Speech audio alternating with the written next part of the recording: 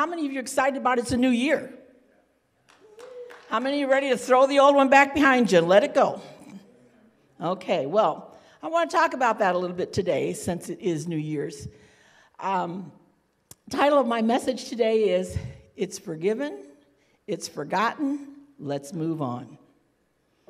And uh, how many of you ever have read in the scripture something and you've read it before and you understand, you know, we have some of what I call Christianese things that we say that, you know, as Christians, this is what we're supposed to believe when we're into it. And then all of a sudden, you'll read a scripture that you've probably read before, and it's like a light turns on, and you see something there that you hadn't really seen before. How many of you experienced that?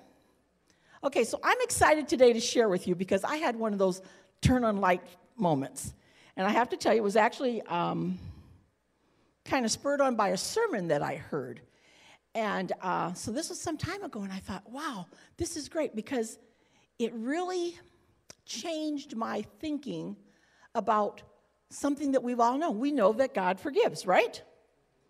And we've all lived in that. We've all heard that at one point or another. And, you know, it's Christianese, we just accept that. But there was a point where something came on in my mind in a sermon that I heard that made me realize the hugeness of this. So I want to share some of that with you this morning. So, for those of you who've made New Year's resolutions, you know, some of you have kind of gone into the uh, I'm going to do the diet thing. How many? Don't even show your hands. I'm going to eat better. I'm going to be a better person. I am going to read my Bible more than I've ever done before. Today is day two, right? How many of you have messed up already? Never mind, don't show. But I know that we go into that with this great tenacity of we're going to succeed and we're going to do it and it's going to be great. And everything that happened last year is behind us and we're ready to move forward. And we're just going to, I can't tell you how many times I've made resolutions. And you know, it's, I think someone said that if you can do it 14 times in a row, it'll stick. Okay, well, I'm just here to tell you at my old age, I've tried a few of those things, and 14 days later, it didn't stick. So just know that it's okay, we'll get there. Um, but today, I want to challenge you to do something different in your New Year's resolution. Um, not to think about all the list of things you're going to do, but I want to challenge you to do this one thing. I think it'll revolutionize your life. That is to live what you say you believe from the Bible. Okay, now I'm going to get into this, but here's the thing. This is a given. We believe that every word of God is true. So, in case you don't, go work with me today. All right? And if you don't, that's okay. I'm going to challenge you to go figure out where it's wrong and then come and tell me. But as I have lived over my years of life, I have found that every word of God is true. And every promise that is in the Bible is true. And He will keep His promises. Okay, so just hang on to that thought. So I want to challenge you to live like you believe those promises exist and that they're real for you. All right, so starting off again, I said my sermon is about I'm forgiven, it's forgotten, moving forward. So I want to talk about this morning, I want to start off by talking about being forgiven. I want to go to the passage in 1 John 1 9. It says, If we confess our sins, he is faithful and just to forgive us our sins and to cleanse us from all unrighteousness. How many of us heard this before? Okay, so if you're in the Christianese world, this is not something that's unfamiliar to you.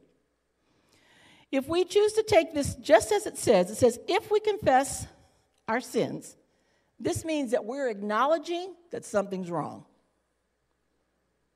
He, God, is faithful and just to forgive our sins. This means He will always forgive or erase or overlook those sins. They're covered in the blood of Jesus. And to cleanse us from all unrighteousness, remove all that is wrong. Or when we think of cleanse, we think of cleaning up something that is dirty. Do we not? Oh, you know, we're going to clean our house. We're going to clean our house because it's dirty, because I don't know anybody who's cleaning their house because it's clean. Just a thought, just a thought. So, practically, when we say that we're going to be clean, we're acknowledging there's something dirty that's got to be cleaned up. And God is able to do that. For most of us, that means that uh, we act a little different when we're clean. So here's an example. How many of you have jobs where you have work clothes? And how many of you have this? Somebody just said to me this morning, Oh, you're always so dressed up on Sunday. Well, you know what? It does make me feel a little different. It's not like I'm running around in my sweatpants. Okay, well, how many of you act a little differently when you think you're dressed, dressed up a little more? When you've cleaned it up a little bit? We act a little different. So, if God has cleaned you up, are you acting a little different? Just a question. Because we say that He's done that, and in our own lives, we've all experienced different times where we've changed the way we act or the way we feel because of how we're dressed or because of how we've cleaned. Um, so, thinking about that, think about how you have changed because you know that God has cleaned you. Or have you? Well, I'm going to get to these notes. All right, so I want to go to uh, 2 Corinthians 5.17. Therefore, if anyone is in Christ, he is a new creation has come, and the old one has gone. The new one is here. Think about that. If you are in Christ, you are a new creation. And the old is gone, and the new is here. How many of you are living like there's a new creation? How many of us purposefully have said, mm, I'm a new person today? I can live it a different way. Sometimes we don't think like that, although we say we believe what God has said. And if He has said, You are new, what does that mean for you? Are you living differently? Are you living that new life? I remember every year for school, probably in August, we'd go shopping for the new outfit for the new day of school. And let me tell you, this was a big deal in my family. Probably personally, because it meant that it was some major expense that we didn't have a whole lot to have. But to have that new outfit for school, to have the new pencils, the new paper, and the new vim and vigor and belief that this year is going to be different. I'm going to be smarter. I'm going to see more A's. I'm going to work harder. And you walk out the door fresh and ready for that new day. And I don't know what happens by day three because the homework is kind of left over here. I might get to it. But on the first day, boy, I was zealous. I was looking good. I had all my clean stuff, all my right stuff. And then I don't know what happened to my thinking. Something changed, and I went back to the old. But it wasn't because I had to go back to the old. I just am not sure why that happened.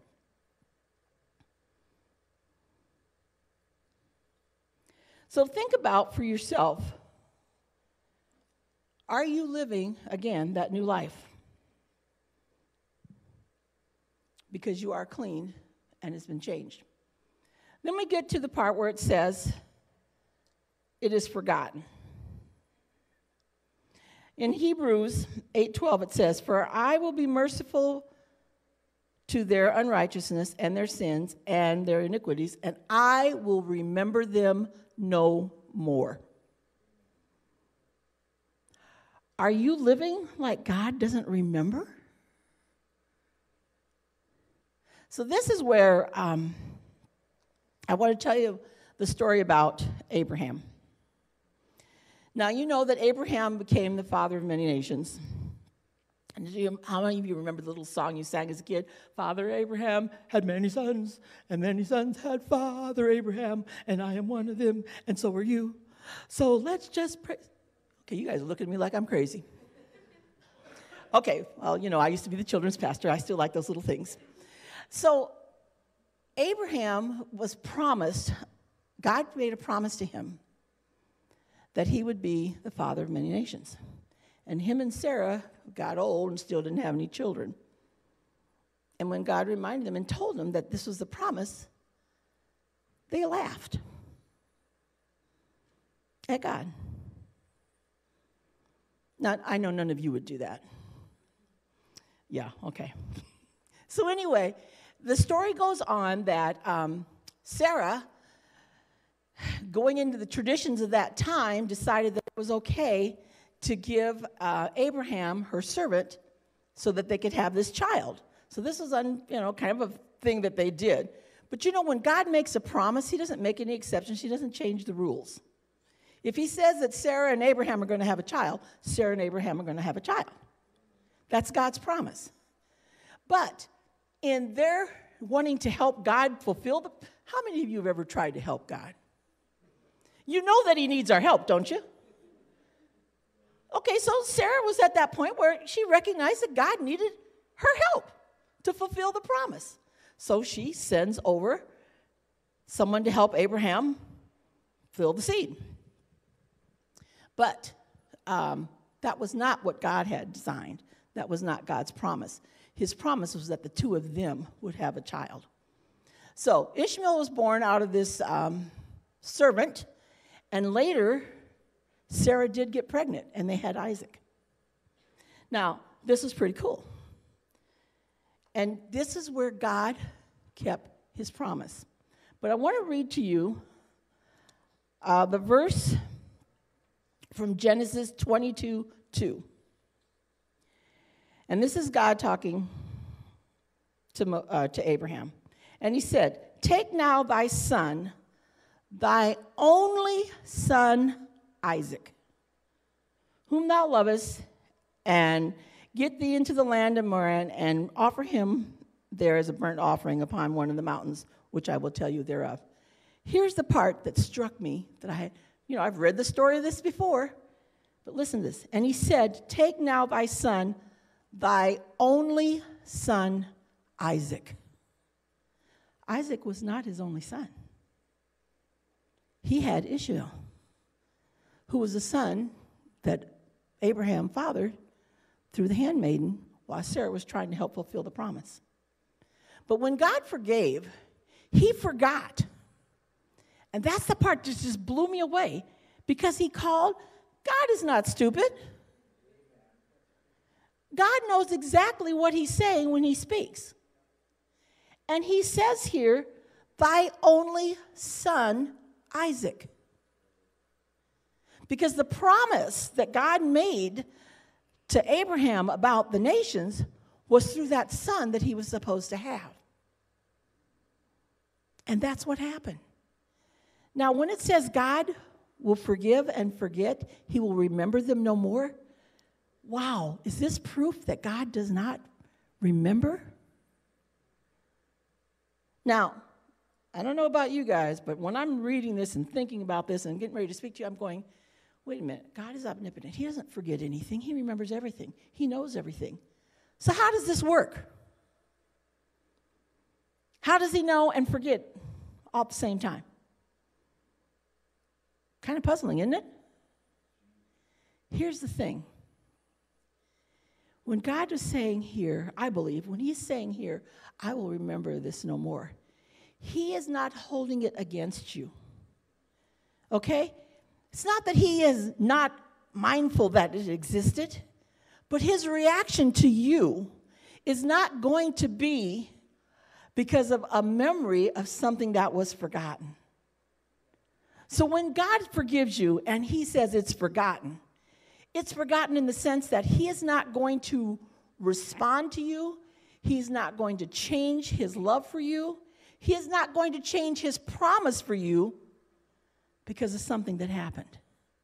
Because that part of it is forgotten. He's going to move forward. Let me give you an example.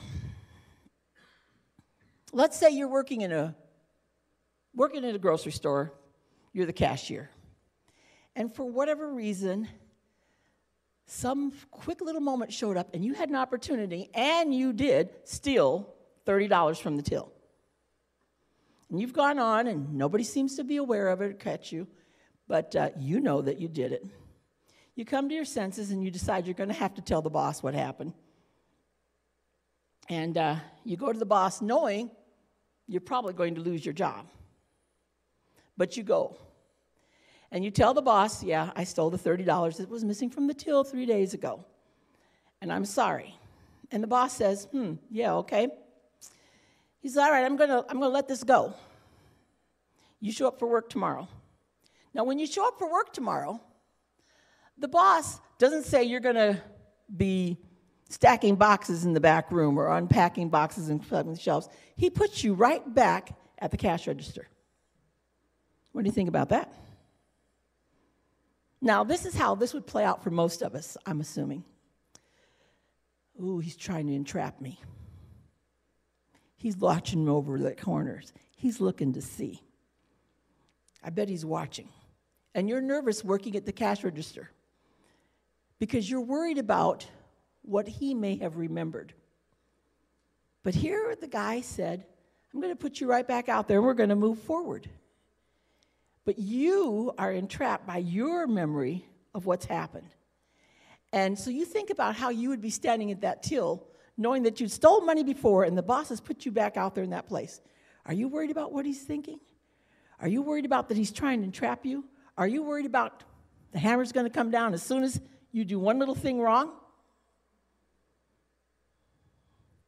So, this is where, if this was you and this is God, God is not going to react to you because of what you did yesterday. He's going to let it go, He's going to forget it. You've got a new opportunity to do the right thing and to go the direction that you need to go. And when I read that verse where God says, Take now thy son, thy only son, God is saying, I've forgotten what you've done. I'm not going to react to you because you didn't follow through, and I am still going to fulfill my promise. Is that an amazing God? Is that an amazing God? He's going to fulfill that promise. And we learn later on that, you know, God does fulfill that promise. There continues to be multiples, and eventually Christ come descended out of that. God is not going to change his promise because of your behavior. His promise remains. And if we read through the Old Testament, you can see where God made a promise, but sometimes that promise was delayed. But the promise was always fulfilled. God has made promises in your life, and He will fulfill them. You have to choose to live that way. Um, I want to talk about Saul of Tarsus or Paul. We've heard the stories. This was the guy who was in great power, and he was persecuting the Christians. So, shortly after Jesus died, he was running around making big issues about anybody who was following and serving God, serving Jesus and he was very passionate about it. It's often said that he killed a lot of Christians. Well, I don't know that he actually did it, but he was instrumental. He was a part of what was going on. And he was doing this very vivaciously. This was just a part of who and what he was doing. And um, one day, he had an encounter with Jesus. He was out riding somewhere, and all of a sudden he fell off the horse, and the Lord said to him, why art thou persecuting me? Now, I don't know about you, but if I hear a voice and I'm not seeing anybody talking to me, I'm going to be a little nervous. And if this is the person that's talking to me is supposed to be the God that I'm persecuting, that I'm trying to kill people or get rid of these people that are serving him, this is going to be an eye opener. However, that's funny that I say that because he was blinded. He was blinded for a couple of days after that encounter until Ananias came to him. But here's what came out of that. As tenacious as he was at persecuting the Christians or the followers of Christ, after his encounter with God, after he became a new creature, as he became a new creation, all the old stuff was washed up and cleaned up. He changed. And he is accredited for having uh, been one of the first missionaries. He was an apostle when he changed, going to the Gentiles, which were just, you know, we don't care about the Gentiles, he was a good Jew, to make sure they knew of the love of God.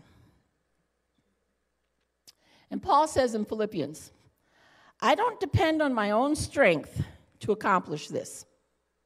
However, I do have one compelling focus. I forget all of the past as I fasten my heart to the future instead. Powerful. He has made that choice. And I run straight for the divine intervention and the teaching of the heavenly goal and the gaining of the victory prize through the anointed of Jesus. He's pressing toward the mark of Christ to do what he wants him to do. But here is a man who had a life of persecuting Christians. And I am sure that those who knew of him and knew him were a little leery when he came around preaching the good news. I'm sure there were those that were concerned that this was a setup, because after all, he was out there making sure the Christians were getting put away. And yet he chose to put that behind him. And he says, not within his own strength. However, I do have one compelling focus I forget all that is in my past. How many of us are doing that? How many of us believe that we've been forgiven and that God has forgotten and we're putting it in our past?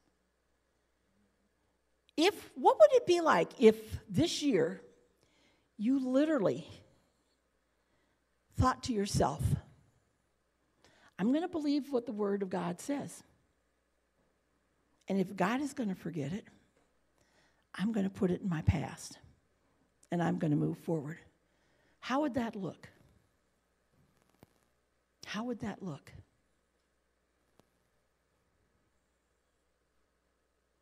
Just think about that in your own life. What things do you need to let go and put in your past? How many of you need to stop depending on your own strength to do that?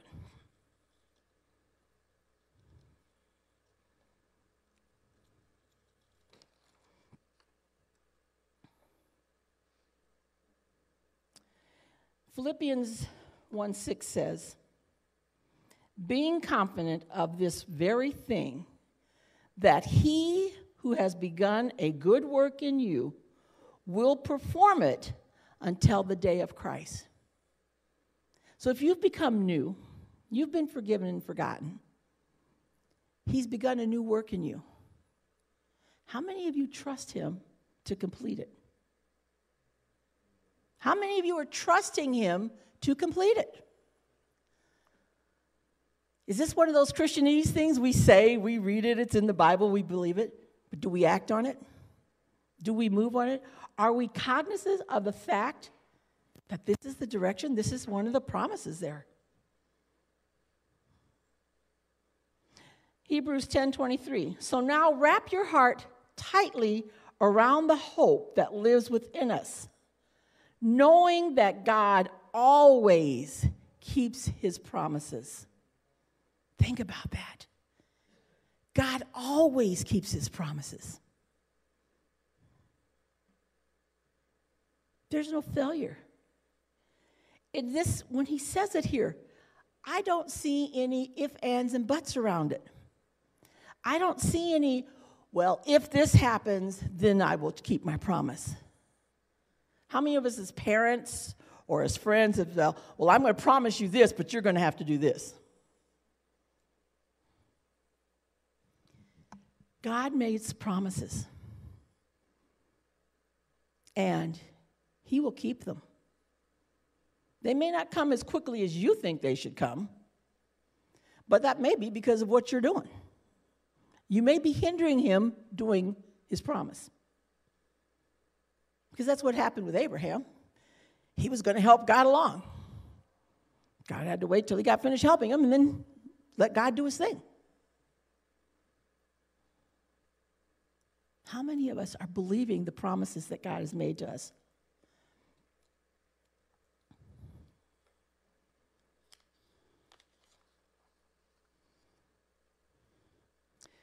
Jeremiah 29 11 says, For I know the plans I have for you, declares the Lord plans to prosper you and not to harm you, plans to give you hope and a future. That's a promise God has for you. Do you believe it? Do you live like you believe it?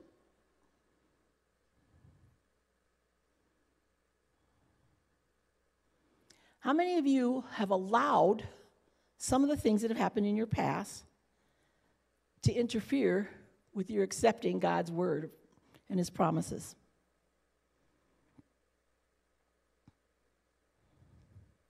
So when you say you're forgiven of your sins and they're forgotten, how many of you hang on to them and you struggle with them, you wrestle with them? And let's go beyond that. Let's go for those of us who've been Christians for a long time and we're not messing, we're, you know, we're doing pretty good. We've kind of gotten over our sinful nature and we're, we're moving on. But you know what? How many of us are hanging on to something like um, old hurts? Maybe somebody wronged you and you're struggling with that. That's something you haven't put behind you. And that's interfering with God's promises. Maybe you have an old anger thing. And I can just give my own personal example of that. Um, those of you who are parents, you know if you mess with my child, you mess with my child, you're in trouble. You know, you know what I'm talking about. So we had an incident that happened when my son was in high school, and a principal did something that was very wrong, and it became very detrimental, and um, it irked me, to put it mildly. And I went over there and had a little chit chat with him. You would not have wanted to be there. Okay, I did it nicely. But I was very angry about it. And um, I was even more angered because I didn't think his response should have been what it was. And um, I suffered through with that. And honestly, I have to tell you now, I look back and I realize that because I hung on to that anger, it interfered with God moving in my life.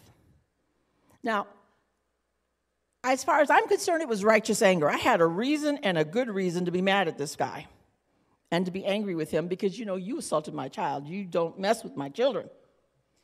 And um, I'd reached the point where I said I was willing to forgive him, but I wasn't forgetting a thing. So I'm not sure if that was true forgiveness because I hung on to that.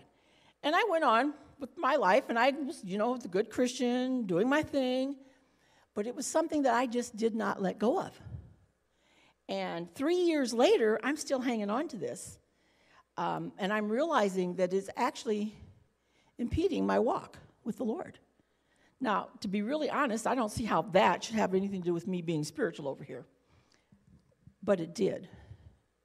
And sometimes when we hang on to things, the bitterness, the anger, we're not open so that God can move in us. We're not open so that God can take the new creature, the new creation that we are, and move us forward. Some of you have um, I had to learn to let that go. Some of you I know have had hurts in your life. People may have wronged you. Uh, there were some damages. Maybe you're angry with God because He allowed something, or I shouldn't even say He allowed, but because of the world in which we live, it's a fallen world, things happen. Bad things happen to good people. And maybe you were one of those good people. And you know, you're serving the Lord, and some horrible thing happened to you. Somebody wronged you. Somebody offended you. Someone said some very hard detrimental things to you, and you've hung on to that. It stops you from moving forward. What if you believe God's word, where He said He has plans for you, He has things for your future? What if you cognitively said, I'm going to let that go? Trust what God has said and wait for Him to fulfill the promises that He's made to me. What would that look like in your life? How would that look? What would that mean? See, God is not going to change the promise that He made for you because you're angry with somebody. God is not going to change His promise that He made to you because you did something wrong. The promise may be delayed, but it will come. What if you walked in that belief? What would your life look like? How would that play out for you?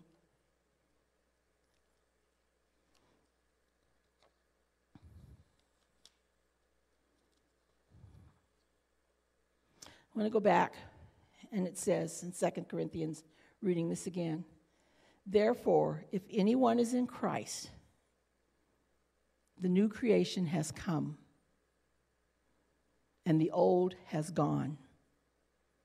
The new is here. How many of us are living in that? How many of us really believe that the old is gone? Here's what's cool God's mercies are new every day. Every day. We don't have to wait for a brand new year. You know, it's day two, we've already messed up. Okay, well, maybe you guys didn't, I probably did. Had a bad attitude already. So here's the thing the morning, God's mercies are new every day. You get the opportunity to start new, clean, and fresh, and walk in the belief purposefully that God's promises He will keep. He has plans for you. Some of us don't know what God's plans are for us because we're so busy worrying about our past and not letting go of those things in the past. So, how can we find out what His plans are? Because we're busy wallowing around in this. The Israelites ran around 40 years out there in the desert for a two weeks journey. You guys aware of that? God had a promise for them. He promised them the promised land. But because they couldn't let go of the past and they kept allowing things to interfere, they couldn't move in. 40 years. I do not want to be like them, wandering around for 40 years for a two week trip. Some of us are doing that with our lives. God has made you a promise. He says, Look, this is what I have for you.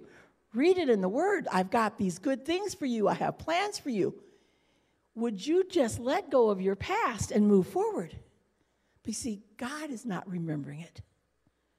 Why are you? Why are you not letting it go? Why are you not moving forward? Paul said, I have purpose that I'm going to let it go. I'm going to let my past go. So here's a question for you guys. Thinking about your life today, I don't want you to raise your hand, but I want you to think about it. How many of you have ever purposely said in your mind, I am going to let it go? Those things in my past I am going to let it go. I'm going to believe that God has said, I am a new creation. The old things are behind me. I am letting them go, and I'm moving forward. The picture I had up here is a rear view mirror. Because some of us need to look in the rear view mirror and let it go and move forward. And move forward. I want to share with you some lyrics from a song. Um, I heard this song a couple of years ago. It just, I just, it made me think. Uh, it's a Christian guy named uh, Mick Reynolds, and he wrote it and he sang it. And it, the words are I'm closing chapters, I'm turning pages, glory to glory, from faith to faith, I'm moving on. I'm getting older, I'll keep it straight. It hurts to let go, but it hurts more to stay. I'm moving on. This is the part that I liked. I know my rear view can't compare to what God will do with my life. Think about that. I know my rear view can't compare to what God will do with my life. I have decided to move on.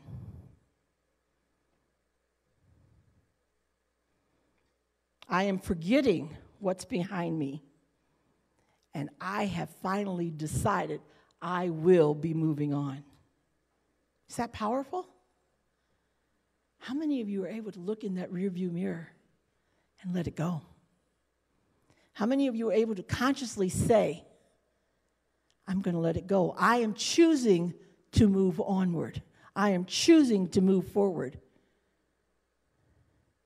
I am going to choose today to trust what God has said, that His promises are real, that I'm forgiven, it's forgotten, I can let it all go, and I can consciously say, I'm moving on. That's my prayer for you today. That's my prayer for you for this year. That you are just willing to look and trust God's word. Just to say, I'm going to stand on the promises of God, and He has promised me good things. He has promised that my sins are forgiven, He has promised they are forgotten. I can move on. My rear view to compare to what God will do with your life. Let's pray. Heavenly Father, I am so thankful that you are a God who loves us greatly and that you are a God who is able to show mercy to us. You are a God that is willing to fulfill your promises in our lives, regardless of the things that we have done. But that when we come before you and become one of yours, we are cleaned up and the old is put behind us. And we are new and fresh and we can move forward in the promises that you have for us. I ask, Lord, that each person that is here this morning would just take a look at their own lives and that they would recognize how much you love them, how much you want to clean them up, how much you want to fulfill the promises. And that, Lord, today we can step into a new greatness in our lives for you by letting go of our past. And we don't have to do this alone, Lord, but we have your power and strength to help us let it go. But help us this morning to be cognizant of that. Help us to be able to literally say, I'm letting go. It hurts to hang on, but it hurts more to stay. So, Lord, let us today, wherever we are, whatever's going on in our lives, to personally say, we're letting go of our past and we're going to cling to the promises that you have made and move forward. Lord, let this prayer be the beginning of a great new year for each of us, starting with one day at a time. Thank you, Lord, for your promises in our lives. Thank you that you have heard us today. Um, Lord, that as each person has examined themselves and recognized what they need to let go of, that you will keep your promise and you will help them to let it go and that you will move them forward into greatness. And that, Lord, we will be able to look at each other and talk about what greatness did God move you toward? What promises is He fulfilling in your life? We thank you that we can look forward to that. We ask it in Jesus' name. Amen.